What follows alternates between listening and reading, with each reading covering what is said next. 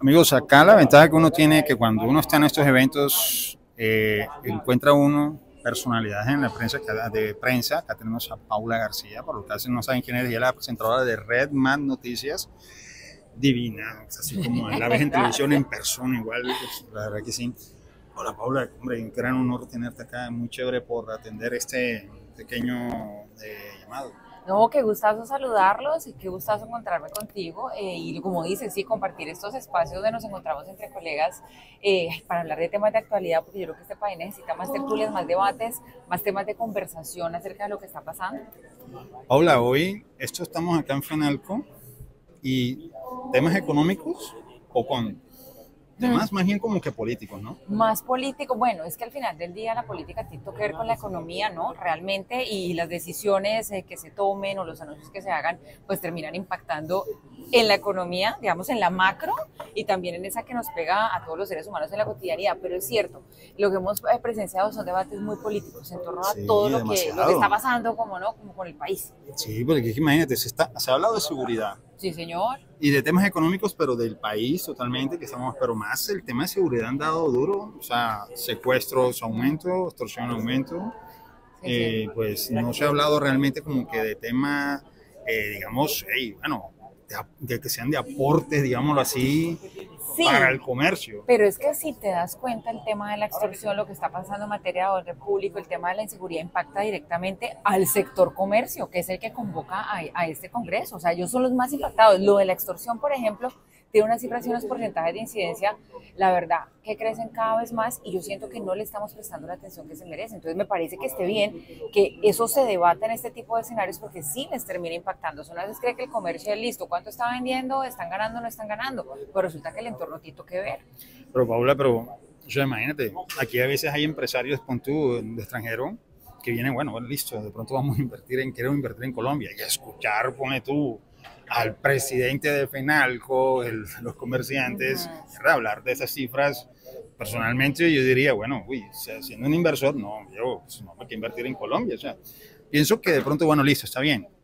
Eh, se metió el tema político, pero a veces había que meter un poco más como que el tema conmigo. ¿Qué te pareció los cinco alcaldes hablando del mm, tema? Bueno, ese fue uno de los, eh, de los paneles y los foros de discusión, creo que ha sido de los más comentados, ¿no? Sí, de, de lo que va en Congreso.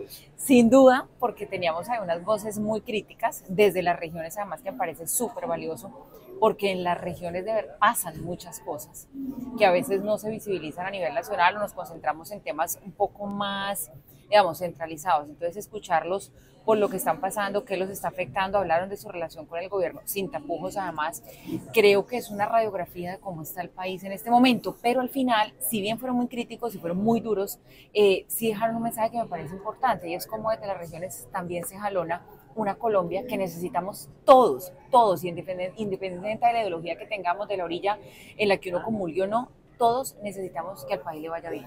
Pero fíjate que de todas maneras ellos hablaron con toda la verdad, porque sinceramente, las cosas que he visto con el presidente Gustavo Petro, que va a Cartagena, es lo que dijo el alcalde, va a llegado 13 veces y no se ha reunido con el alcalde para nada, va a los barrios. O sea, la verdad que el gobierno, sinceramente, está mezclando, digamos que peras con manzanas, digamos ¿Por qué? Porque, hey, si es el presidente, dejemos un poco las ideologías eh, políticas y vamos a trabajar juntos por el país. Fíjate que el alcalde de Dumec, Turbay, se lo diciendo que con los ministros ha ido mejor, que con los ministros se ha reunido más y eso, y también criticó mucho también a la presidencia. Yo pensaría que, sinceramente, o sea, lo que siempre ha dicho el fiscal Barosa, que lo tuvimos acá también, que sinceramente ese señor lo que sigue siendo un activista y sigue estando en campaña. Pues no ha sido una relación fácil, eh, pero aún así que sigue haciendo llamadas de todos los sectores como a trabajar en equipo. Ojalá desde el gobierno nacional lo escuchen prontamente, porque todavía, digamos, queda, queda un tiempo, pues, para este gobierno, dos años, en los que se puede recomponer ese rumbo. Eso, eso que todavía no ha funcionado muy bien, de ese tema de, de llegar a consensos, de trabajar público, privado, regiones y, y gobierno central, todos de la mano y, bueno, y que también entonces, si eso no llega a pasar, pues de, cara a las regiones se gesten esos liderazgos de cara a las próximas elecciones, que también es la vía democrática por la cual se debe subsanar lo que no está funcionando bien. Tú sabes que me dijo Cabal, el doctor Cabal, el presidente de FENALCO, que yo le pregunté por allá, doctor Cabal, eh, ¿cuándo fue la última vez que vi a Petro?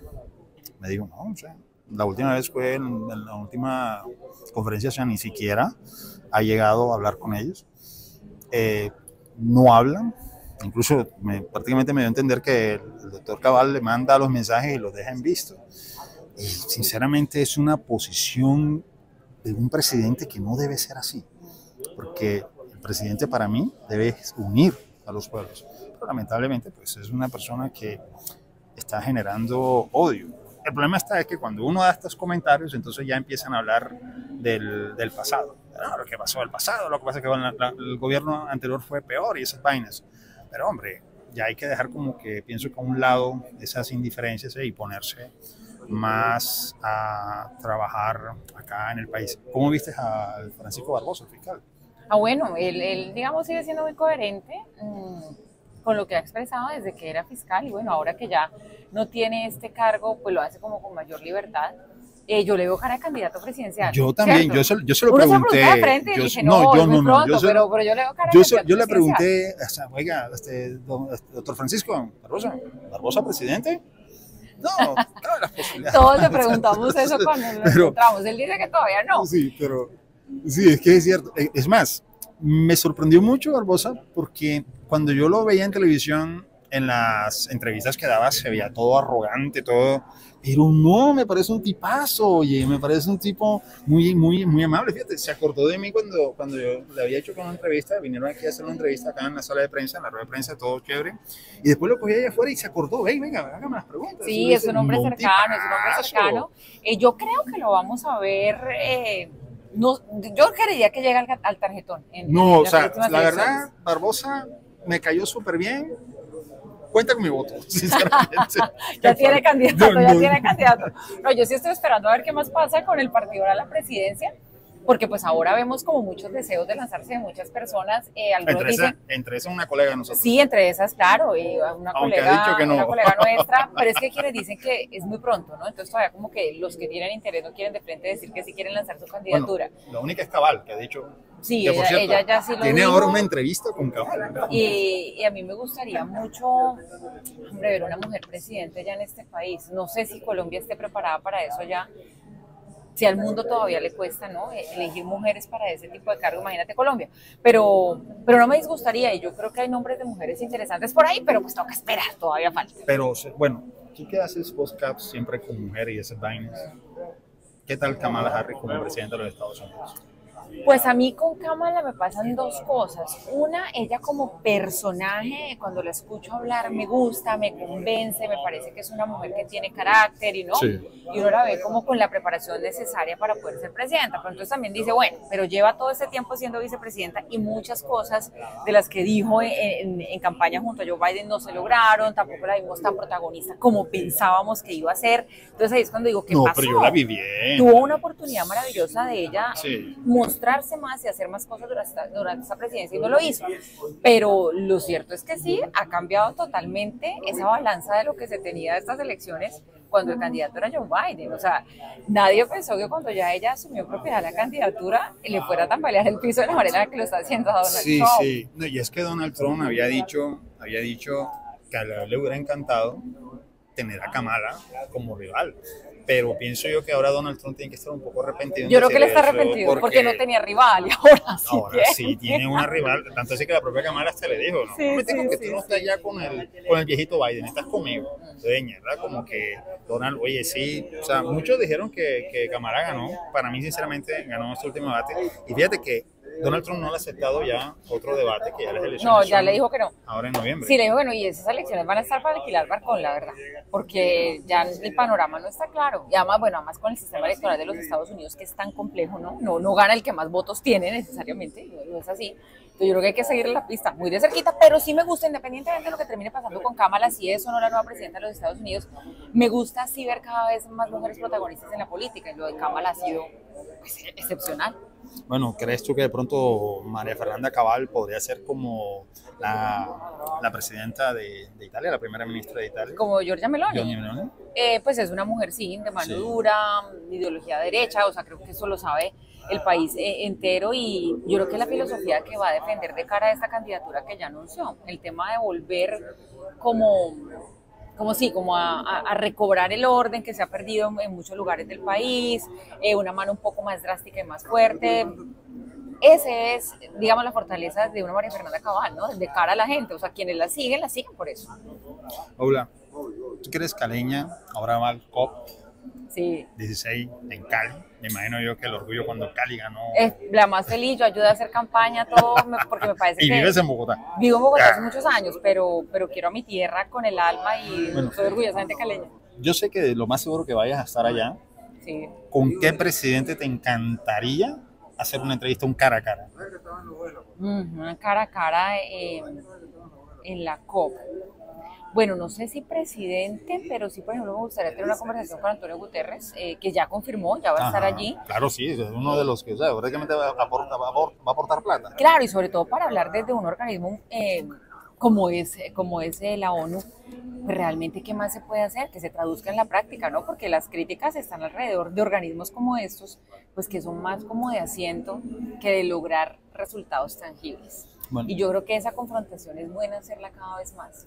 Esa misma pregunta se le hizo yo al alcalde Eder acá, así de velocidad. Bueno, porque él dijo, no, con todos los presidentes, lógico, que él es un alcalde, pero a mí personalmente me encantaría mucho Nayib Bukele.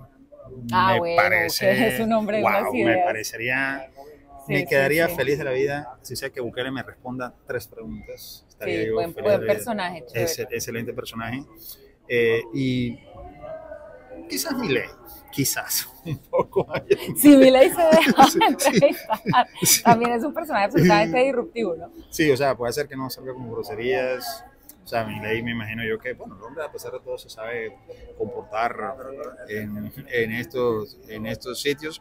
Para mí, la verdad, el COP16 es un vitrinazo, ¿no? Para el presidente y más para la vicepresidenta, que a ella como que le gustan mucho esas vitrinas estando ahí en Cali.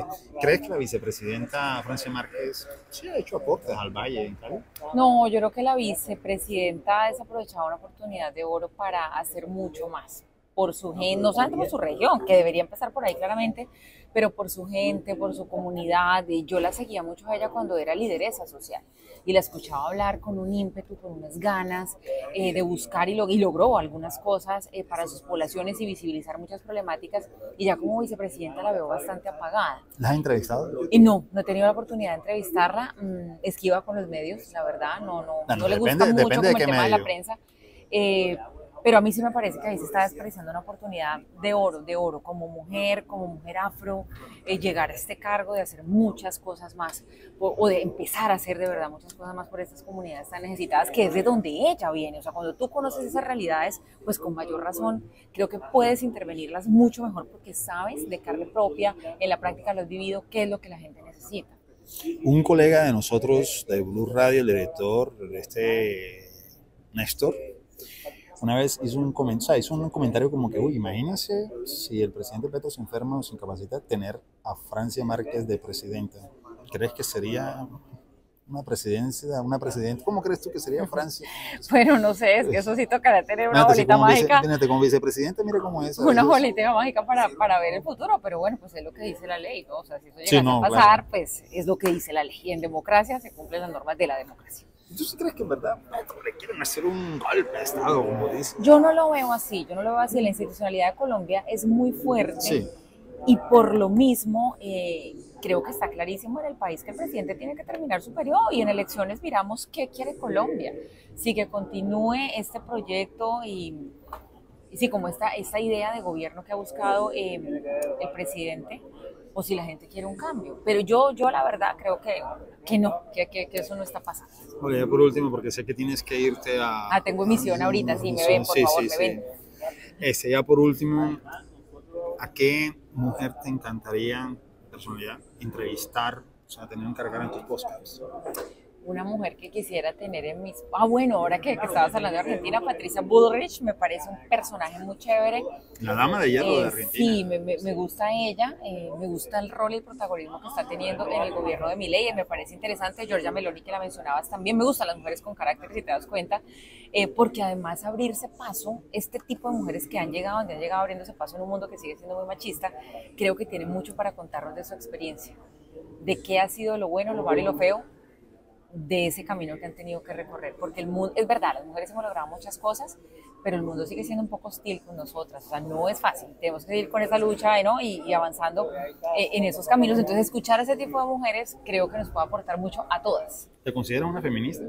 Sí, no enferma loca, pues que todo me parece machismo, no. Que los hombres somos malísimos, no, que son para lo nada, peor no, del mundo, cero, ¿no? para nada, pero sí una banderada de las causas femeninas, sin duda orgullosísima de lo que las mujeres podemos hacer, Aprendan, lograr, feministas. eso sí, pero sí, no, no, la loca del feminismo no, pero obviamente sí abandero todo lo que tenga que ver con, pues con mujeres, como no, imagínate, si no nos ayudamos entre nosotras, ¿quién?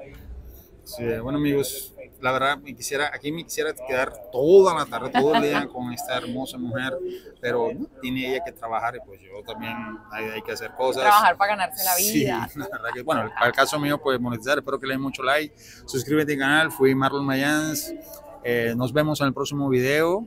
Y bueno, no sé, Paula, algo que decirle a la comunidad de Miami Magazine.